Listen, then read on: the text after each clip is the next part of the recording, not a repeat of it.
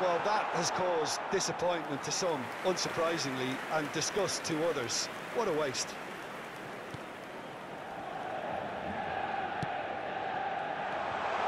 Hoyland!